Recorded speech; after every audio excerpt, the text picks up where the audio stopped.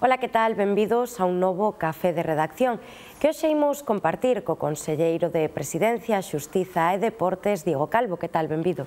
Ola, moi bo día, que tal? E tamén estará con nos o compañeiro de la región e xornalista, Sergio Conde. Bos días, Natalia.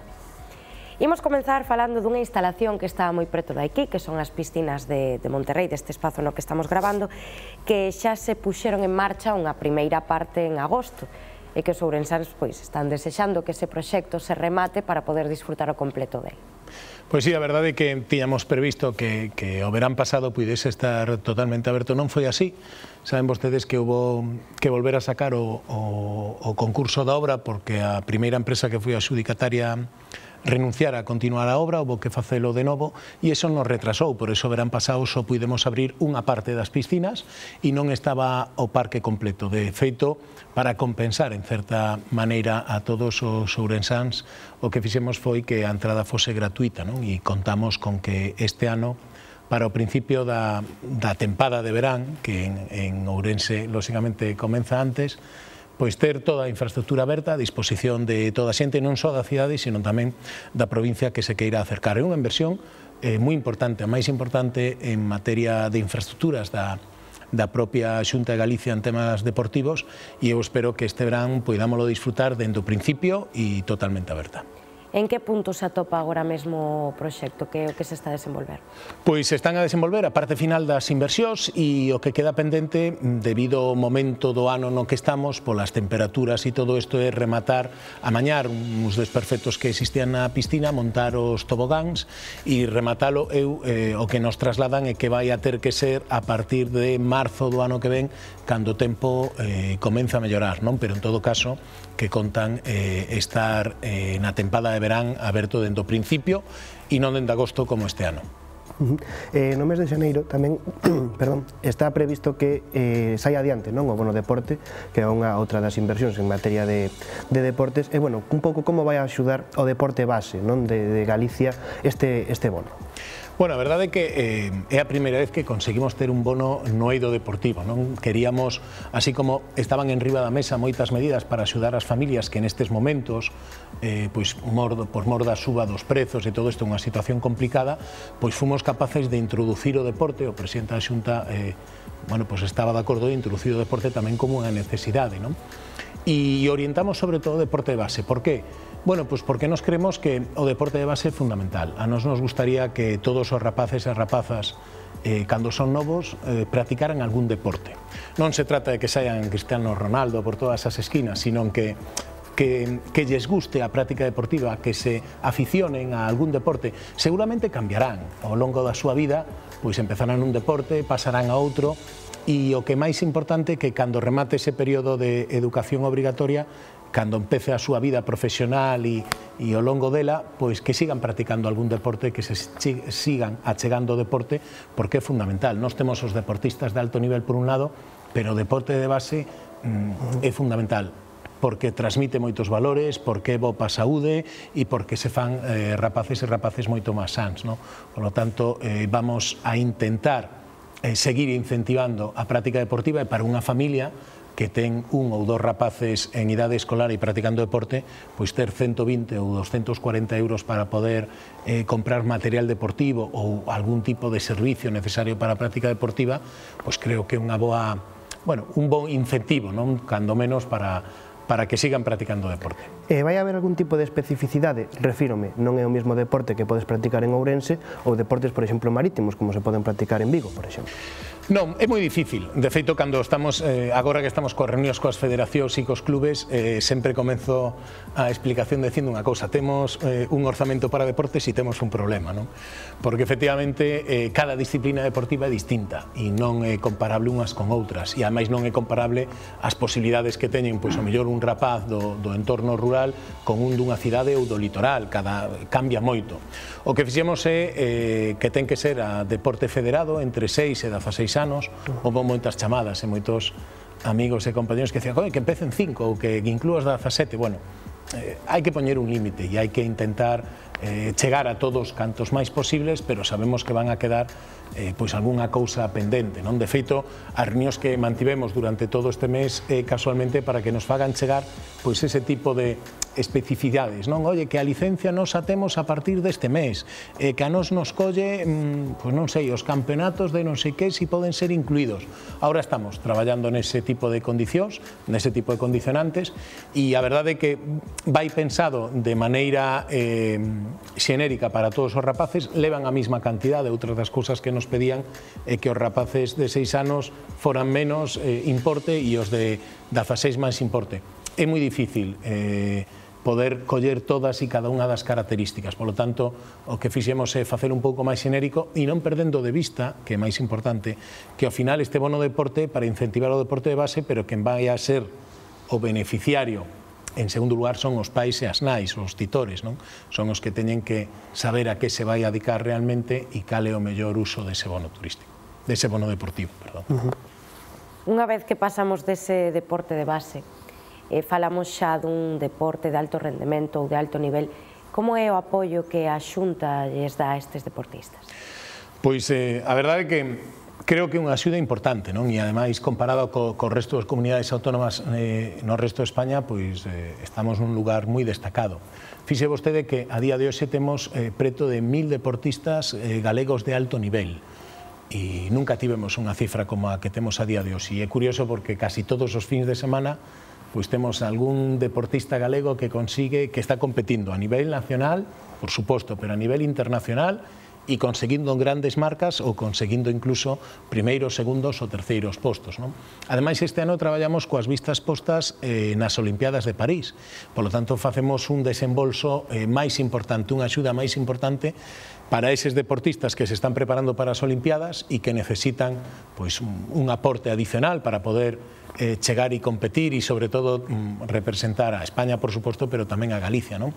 E, por outra parte, para todos aqueles que compiten en, en competicións nacionais ou internacionais e que non van ás Olimpiadas, pero que tamén son eh, importantes. Nos aí estamos a facer un esforzo importante. Este ano vamos a dedicar eh, 600.000 euros para axudas única exclusivamente a estes deportistas que, que compiten en estas competicións e estamos moi orgullosos porque se conta que nas últimas Olimpiadas dentro da delegación española a, a autónoma que máis eh, medallas e que mellor resultado tivo tanto nas Olimpiadas como nas Paralimpiadas foi a Comunidade Autónoma de Galicia, non? E para nós é un orgullo poder atendelos e poder axudalos a, que sigan representando a Galicia e a España tamén para poder acotar un pouco este tema e que os que nos escoitan e nos ven se fagan unha idea máis concreta de que deportes podemos estar falando, que son todo tipo de deportes, e tamén falar un pouco destes centros de alto rendemento no que están reunidos eses deportistas e que traballan aí ao longo do ano, que non sei se son dependentes tamén da Xunta de Galicia.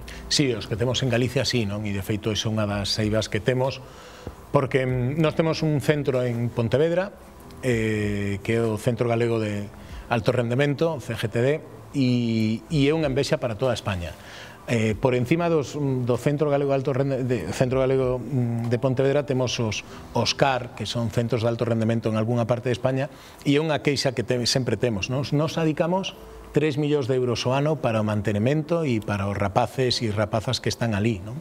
a parte das inversións, lóxicamente, que se levan a cabo. Pero fíxese vostede que o, o Estado só nos achega ao redor do, cada ano ao redor de 300.000 euros, non? Cando nos gastamos 3 millóns de euros. E os centros de alto rendemento que ten o Estado polo resto de España consumen ou necesitan cerca de 5 millóns de euros para o seu funcionamento, que o fai o Estado. Por eso nos estamos sempre a pedir que que nos voten unha axuda e que financien en función tamén dos resultados que acadan pois as persoas que están eh, nestes centros. Algúnha selección española ven a facelos estás eh, a practicar e teñan a súa sede definitiva durante todo o ano no noso centro. Non? non somos unha potencia en todo o que ten que ver eh, coa auga, no remo, no piragüismo, somos unha potencia, somos unha potencia mundial e os mellores están aquí con nós e saen aí pero temos eh, no centro pois xente que fai gimnasia, que participa en moitas modalidades, que é increíble que consiguen grandes eh, grandes resultados. Temos en artes marciais, moita xente que está practicando no centro, que están ali metidos no centro e consigue grandes resultados nacionais e internacionais. Fíxese que son en torno a 375, me parece que son este ano, rapaces e rapazas que viven, non todos, outros viven fora do centro, pero que se preparan no centro de Pontevedra eh, durante todo o ano. Por certo, a metade homes e a metade mulleres. Non temos, eh, nese caso, unha, unha división moi clara. E conseguimos unhos grandes resultados en moitísimas disciplinas e nos fai sentir moi orgullosos, porque realmente mm, temos unhos resultados moi superiores ao que representa Galicia dentro de España. Precisamente falando deses deportes de auga, Ourense ten un papel fundamental neso, polas láminas de auga, polos espazos que hai para que os deportistas entrenen e tamén para que veñan competir. Este ano pois varias desas competicións, co cal hai que poñer un pouco foco tamén non na provincia. Sí, eh, dende logo en Ourense temos unos espacios espectaculares para poder practicar e campo de regatas moi eh, bueno, que son moi utilizados, pero tamén temos en Ourense as pistas de atletismo de Expo Ourense que son utilizadas o ano pasado a selección española veu a prepararse as pistas de atletismo en Ourense, non? Hai, hai pouca semana, hai dúas semanas ou así, estábamos en Viveiro en Foz eh, inaugurando unhas eh, novas pistas de atletismo con Adrián Ben e outros, eh, e outros atletas e os coñecíamos de estar en Ourense con eles antes de ir ao último campeonato onde viñeron a practicar e, e están, eh, a verdade é que encantados porque a calidade das pistas é espectacular o ser cuberto lles permite durante todo o inverno facer un estás moi bon e a cidade, lóxicamente, tamén está a altura, non? Por lo tanto, Ourense ten moita potencia deportiva tamén eh, bueno, outro proxecto que desenvolve a súa Consellería, neste caso por parte de Presidencia, non? É a, a sede administrativa que a Xunta está preparando aquí no barrio das Lagoas e quería preguntar en que punto está este proxecto. Pois a verdade é que mm, vai bastante avanzado, hai un par de meses estivemos en Ourense eh, dando, bueno, pois anunciando quen foran, eh, que estudio fora o gañador do concurso de ideas, foi un aute de dous estudios e a día de hoxe están na redacción do proxecto. Estamos eh, contamos con telo proxecto eh, creo que a finais deste ano e despois hai que licitalo e empezar as obras, eu conto que no ano 24 eh, comencemos as obras deste, desta nova sede eh, da Xunta de Galicia en Ourense. Unha sede importante na que vamos a invertir preto de 24 millóns de euros que vamos a conseguir varias cousas. Primeiro, eh, reunir todas as oficinas dependentes da Xunta de Galicia nun só edificio. Non? E despois un edificio moderno no que vai a contar pois, con todos os ámbitos, todas as modernidades de eficiencia enerxética, de accesibilidade, etc. Co cal, a xente que traballa ali vai a mellorar moito as súas condicións e todos aqueles cidadáns que teñen que facer algún tipo de trámite diante da Administración Autonómica tamén porque un edificio moito máis moderno é mellor pensado co seu parking, o seu auditorio e todo, bueno, todos os servicios. Ademais, eh, contamos pois, eh, con todas as exigencias que tamén nos trasladou o Concello no seu momento, a Xunta de Compensación. Cando teñamos o proxecto definitivo, yo mostraremos o Concello e tamén a Xunta de Compensación de Propietarios desa zona para poder licitalo. Non? Eu coido que, que vai a cambiar eh, moito a faciana tamén dese barrio, vamos a manter esa praza ou ese ámbito verde de 5.000 metros cuadrados que nos pediran dentro do Concello e creo que vai a, bueno, pues vai a ser un salto hacia adiante da cidade de, de Ourense. E a, a ver se hai menos problemas, non? É dicir, este, estes problemas cos terreos, e a ver se agora, e a ver se podemos avanzar dunha forma un pouco máis rápida. E telo licitado, non sei se podemos eh, ter algunha data, se, se se manexa algunha data. Bueno, nos, nos orzamentos do, deste ano que ven eh, puxemos unha partida de 2 millóns de euros que o que nos din os técnicos que vamos a ser capaces de invertir eh, durante ese ano. Non? Eu conto que no 24 comecen as obras non me gusta normalmente eh, dar unha data concreta porque se despois non se cumpre parece que non que era unha mentira e non é certo. Non, non o podo decir porque a día de hoxe non, non a temos. Sí que levamos o orzamento necesario para licitalo, contamos con iniciar as obras no ano 24 e o proxecto terminado non lo entregarán, eu creo que a finais deste ano, e contamos despois, pois, lóxicamente, falar co Concello, falar coa Xunta de Compensación, para que nos diga. Vamos a a minimizar as afeccións na medida do posible para, mm, bueno, pues para evitar eh, problemas con outros propietarios ou para evitar malentendidos. Vamos a intentar facelo axustando na parcela, intentando que sexe o máis asil posible, e a verdade é que presentamos o, no concurso de ideas pois é un edificio de seis plantas perfectamente orientado, con un pase inferior eh, para a parcela que quedaba como zona verde uh -huh. no interior, un pase que a xente poida pasar a través do edificio por debaixo unha Uh -huh. un oco moi grande para poder, bueno, pues facelo máis eh, un trasvase directo, incluso pues, para a zona de que se si está chovendo, pues ali non te molles, non? E quedar unha zona tamén de 5.000 metros cuadrados que era o que pedían nun primeiro momento e esa vamos a respetar, por suposto. Na última reunión que se producía entre o presidente da Xunta, Alfonso Rueda, e o alcalde de Ourense, este era precisamente un dos temas a tratar. En aquel momento falábase dunha posible humanización da zona de forma de que os dous campus quedaran como semiconectados, digamos. Non sei se iso tamén se contempla no proxecto ou... Bueno, no proxecto mm, nos lle pasamos un adianto ao Concello hai poucas semanas para que tamén fora mirando e despois que se poidan eh, manter as reunións co equipo redactor antes de telo acabado para, bueno, pues para ver si todas as necesidades que, que poñía o Concello en riba da mesa se poden cumprir nun principio, eh, a sensación da primeira reunión que tivemos foi moi boa, non? porque nos adaptamos, repito, a zona e as parcelas que tiñamos falado, non ocupábamos parcelas urbanas do Concello, deixábamos a praza interior de 5.000 metros cuadrados e facíamos un trasvase eh, bueno, pois moi libre, moi rápido, eh, para poder pasar dun lado a outro. Non? Ademais, o parking iba tamén metido a, bueno, pois na zona debaixo do edificio e eu creo que con todas esas cousas iba Bueno, pois pues cumprindo todas as expectativas que poden ter todos os axentes. É certo que é moi difícil, eh? porque si, si do diseño se ocupase o Concello, estou seguro que faría unha cousa distinta. E se se ocuparan os propietarios das parcelas da Xunta de Compensación, tamén farían outra cousa distinta. E se lle preguntamos aos cidadáns, entón cada un tería o seu edificio. Non? Eu creo que hai que, que fiarse neste caso dos técnicos, que hai que poñer unha serie, lóxicamente, de, de requisitos que, fon, que foron os que puxemos, e despois fiarse do traballo dos técnicos que a verdade nos gustou moito e, e foi o, o mellor proxecto de, de todos os que se presentaron no concurso de ideas. Non? Xa que falamos de, da administración local, eh, que balance podemos facer desas axudas eh, que se reciben en Ourense? Bueno, pois pues a verdade é que eu estou moi contento porque mm, dende a Xunta de Galicia estamos cada vez eh, aumentando o orzamento que dedicamos aos concellos. Eh, este ano fomos quen de, con 27 millóns, algo máis de 27 millóns de euros, chegar a máis de 600 proxectos en diferentes concellos.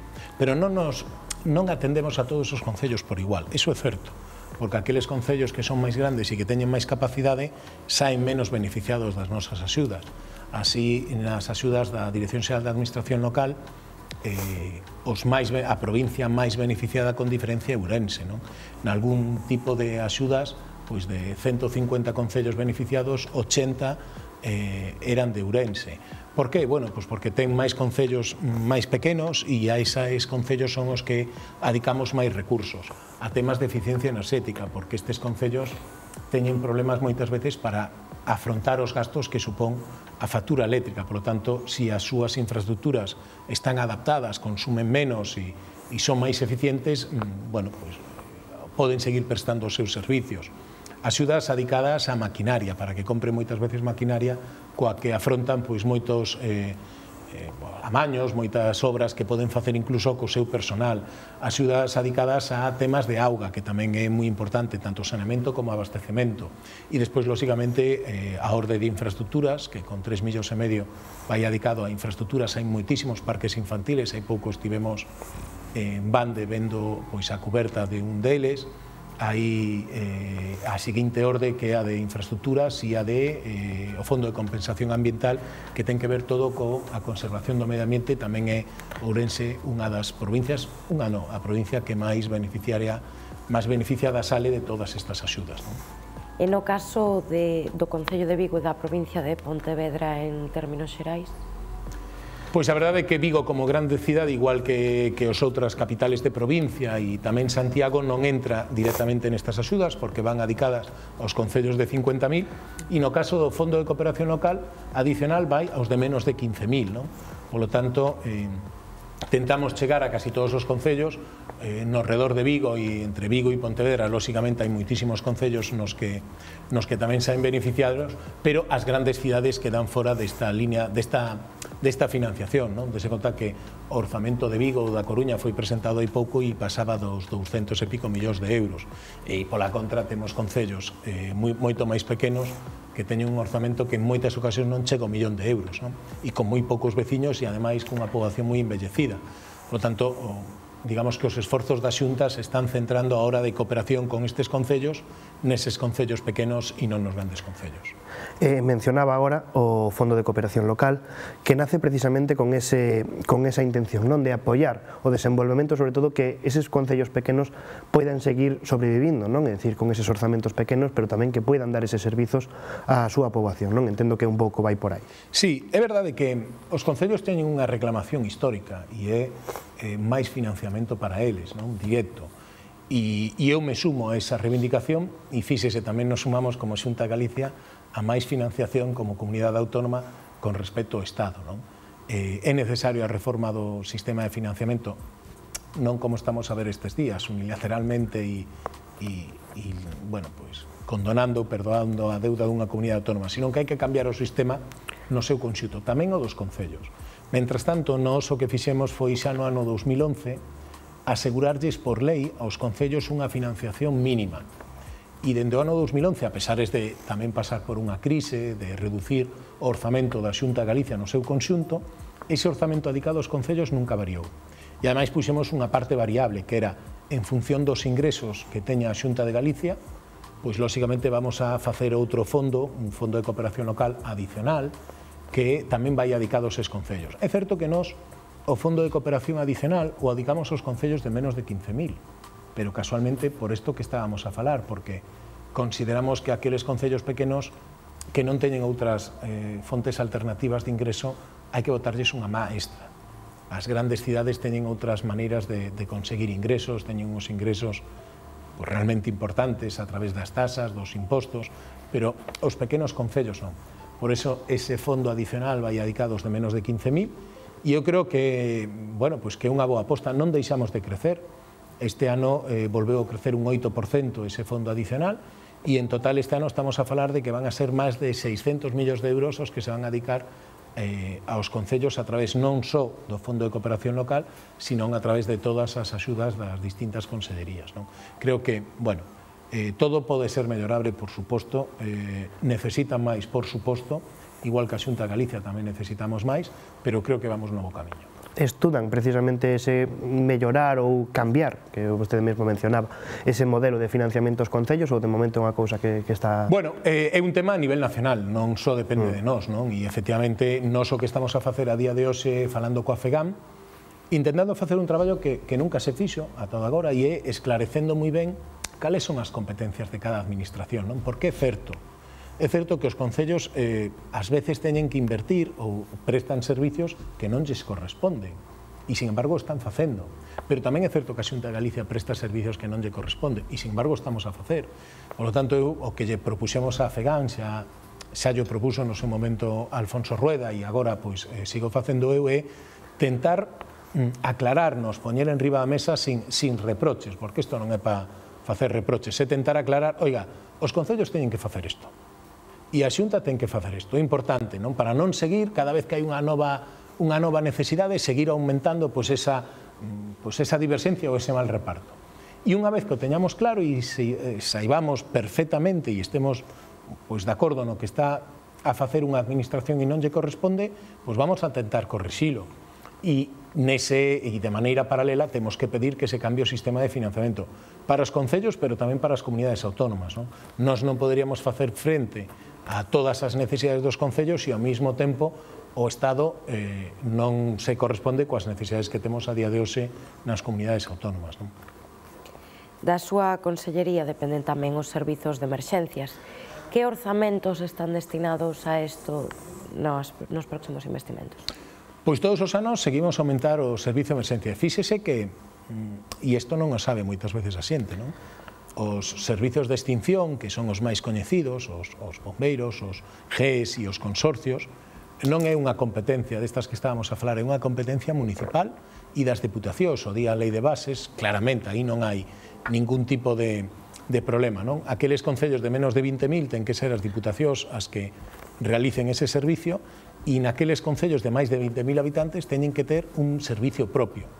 En Galicia non ocurría e hai moitos anos eh, a Xunta de Galicia decidiu colaborar coas diputacións, creamos os consorcios provinciais que foron ascritos ás diputacións porque son os titulares de, de, de esa competencia e nós colaboramos eh, cada ano aportando a metade do custe de, de funcionamento dos consorcios, a metade do que, do que se invirte no servicio de extinción o pon a Xunta de Galicia.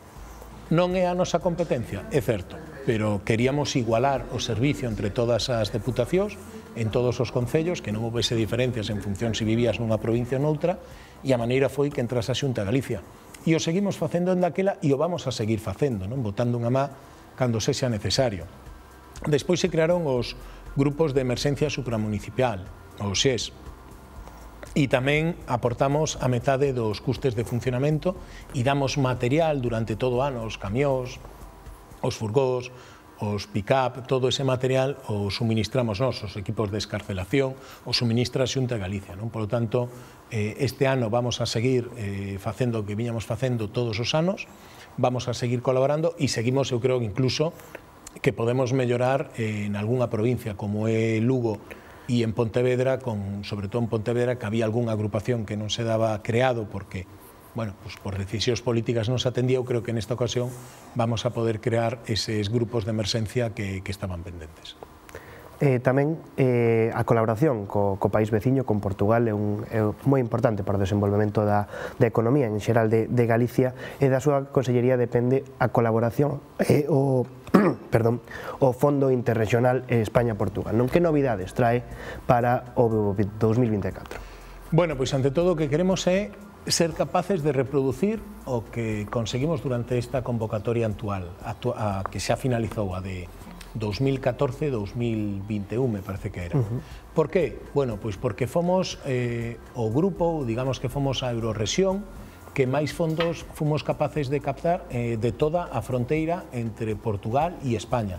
somos os máis dinámicos. No anterior a convocatoria foron máis de 170 proxectos e 80 e pico millóns de euros. E nesta convocatoria, que acaba de comenzar fai un ano e pico, pois a verdade é que vamos a un ritmo mm, que nos fai soñar con volver a repetir os resultados anteriores. Levamos 46 proxectos, ese, no, 46 millóns e 70 e pico proxectos. Por lo tanto, vamos novo camiño. Acabamos de aprobar unha nova eh, agrupación europea na raya de cooperación, e a verdade é que mm, somos un exemplo, non só somos os mellores en toda a, repito, a fronteira de entre Portugal e España, pero somos un exemplo tamén en, para outras zonas de Europa, non? donde esta eurorrexión pois a verdade é que é moi puxante, donde hai agrupacións mm, bueno, pois importantes que tiran hacia adiante, e eu creo que, que temos sacado moitos beneficios non? durante todos estes anos. Vamos a seguir, mantevemos varias reunións con todos os posibles beneficiarios deste tipo de programas, pois incentivando, explicándolle que cousas poden optar, que cousas poden facer, e como se poden unir cos socios portugueses ou socios galegos para ser, eh, para ser beneficiarios deste tipo de, de programas. Temos moita experiencia, eh, temos moi boa xente, moi especialista en, en xestionar este tipo de fondos, e o que queremos é ser capaces de reproducir o éxito anterior. Eu, con eso, eh, xa me dou por satisfeito. Non? Oxalá se xamos capaces de, de ter o mismo número de proxectos e, e de ter, sobre todo, os beneficios que tivemos con eses proxectos. Pois moitas grazas por acompañarnos hoxe, conselleiro. Moitísimas grazas a vos, encantado. Moitas grazas tamén, Sergio Conde, por estar hoxe aquí. A ti, Natalia. E grazas a vostedes por estar con nós nun programa máis e vémonos no seguinte.